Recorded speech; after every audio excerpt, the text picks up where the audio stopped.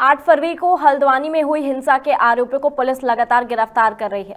इसी के तहत पुलिस ने 14 आरोपियों को गिरफ़्तार किया है। नैनीताल एसएसपी प्रहलाद नारायण मीणा ने मामले का खुलासा करते हुए बताया कि पुलिस ने पूरे मामले में उपद्रवियों के पास से कई और पेट्रोल बम और हिंसा के दौरान पीएससी के जवान से लूटी गई काइबान मैगजीन बरामद की है।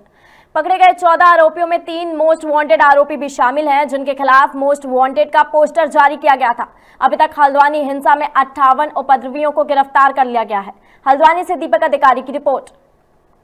जो नामजद अभियुक्त थे, जिनके कोर्ट से हमने वारंट लिए थे, इनमें से तीन अभियुक्तों को आज हमने गिरफ़्तार किया गया है।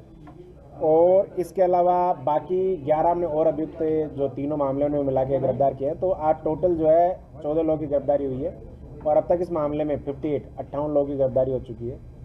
आज हमने गिरफ्तारियाँ की है। इसमें एक अभियुक्त जो है, उसके कब्जे से हमने जो पीएससी की हमारी सारी मैगजीन गायब हुई थी, पिस्टल की, वो हमने बरामद की है।